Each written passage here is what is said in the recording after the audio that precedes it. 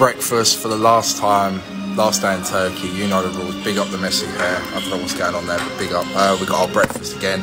Same usual. I didn't. I haven't been doing breakfast videos every day because it's the same food every day. But since it's the last day, big up Turkey. Big up the buffet. Big up the hotel. Big up Angry Ginger reacting to my video. Much love, brother. Let's get straight into this. Chips. Chip Shop Tuesday.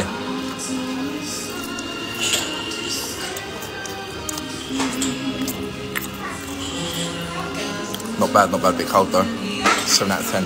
Sausage.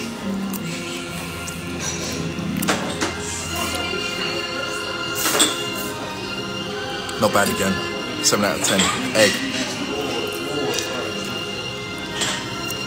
7 out of 10. Bit watery, not gonna lie. Big up the mushrooms. Magic mushrooms.